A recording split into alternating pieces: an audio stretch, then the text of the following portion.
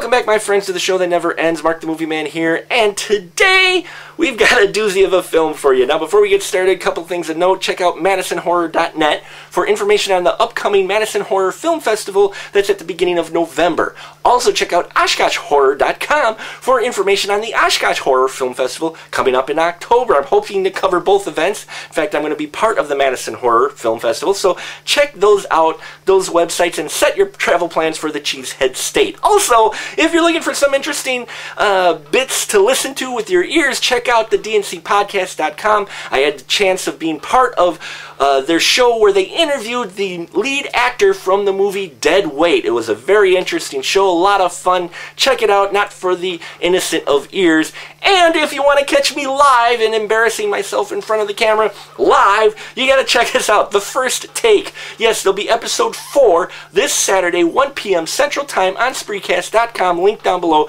I will be live. I will be in the chat. Uh, they'll be able to talk to people about films. We've got headlines. I've got a new feature called The Random Review. We're going to look at some trailers and get your take on some things, and we'll feature the uh, ever popular section, Shit from My Basement. So, first take, check us out Saturday, uh, 1 p.m. Central Time on Spreecast. Now, on to today's show, which is a doozy of a title The Oversexed Rug Suckers from Mars. Yes. That is the title. I did not make this up. If I had, uh, wow. Anyway, this film the the premise of it is these aliens come down from Mars after 10 million years. Uh, they were here 10 million years ago, and they want to check on their experiment, which is humans. Well, when they find humans have trashed the planet, they decide they want to cross a human with a vacuum cleaner. So they give life to a vacuum cleaner and take off in hoping that nature takes its course. Well, at first, nature takes its course with a bum, and a bum falls in love with the vacuum cleaner. But then the vacuum cleaner becomes the property of a couple where the vacuum cleaner ends up sucking up some aphrodisiac tea leaves, and he ends up trying to copulate with the girl of the couple. He ends up killing the guy of the couple, goes next door to the one neighbor lady, copulates with her, conceives a child, and the child pops out, looks like a dustbuster uh, crossed with a Cabbage Patch doll. And that's just one of the many plot threads they throw into this low budget, no budget film.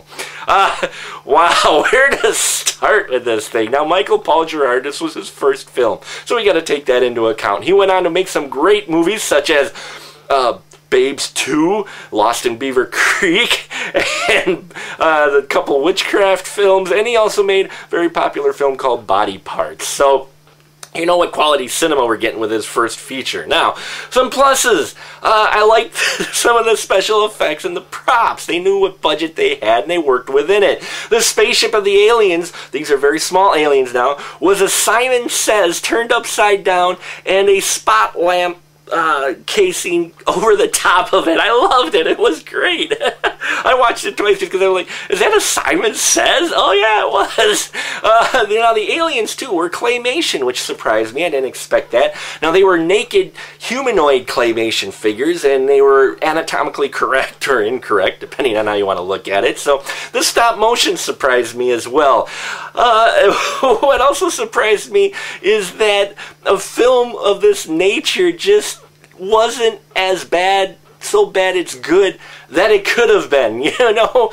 Uh, if that makes any sense. Uh, you know i was hoping for some cheesy classic cult humor, you know, so bad it's good stuff. But it, it just, there was so much going on that it kind of distracted you away from it. Now, I loved the animations they did with the vacuum cleaners as well, and the actors did their best to make that vacuum uh, animated. Uh, so, you know, I, I give props there. And the reason why the baby looked like a dustbuster crossed with a Cabbage Patch doll was because it was a dustbuster with Cabbage Patch doll parts attached to it. Some little girl in the 80s is crying because those Cabbage Patch dolls weren't available, and one of them ended up going to this film. Whether that's good or bad, you can decide. Folks, Oversexed Rug Suckers from Mars is not as entertaining as the title may suggest.